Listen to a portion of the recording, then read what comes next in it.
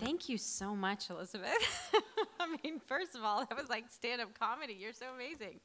Um, thank you, all of you, for taking time out on this Friday to be here. I know you have many choices when you choose your charity airline, and um, we're so glad you chose this one today.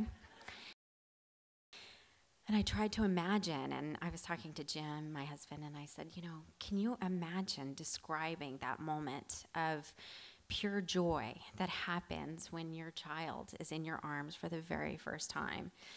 What are, I mean, what are the words? Um, and as I look around this room and I see a lot of my friends, I know that you, many of you, have known this moment very well with all the tears and the joy and the calling of relatives and just the pure ecstasy of sharing photos.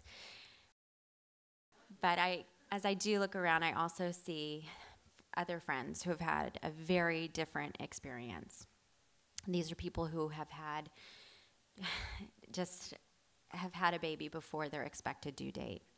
Babies so very small that they can fit into the palm of your hand who are hooked up to artificial breathing devices and feeding tubes, children who are not ready to enter this world, with brains that aren't developed yet, with lungs that don't know how to pull air, with hearts that can't keep time. And every day for those babies and those families is an unknown. They wonder, will my baby even survive? And that's why I'm so honored to be here to talk about the March of Dimes. Premature birth is occurring around the world with alarming frequency, and too little is known actually about the reasons that it's happening. So I feel very close to this organization, and I would like to think that my grandfather, Jimmy Witherspoon, and my mother, Betty, would be very proud of the money that we raised here today, which I am told, I was just told a minute ago, exceeds $1 million.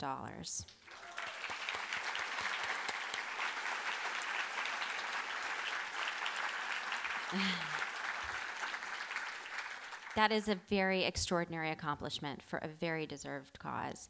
And imagine how many lives will be changed just by your efforts today.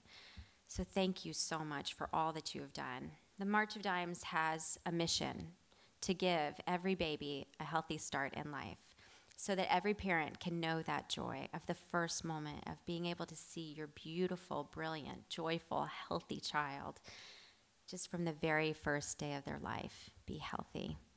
Thank you so much.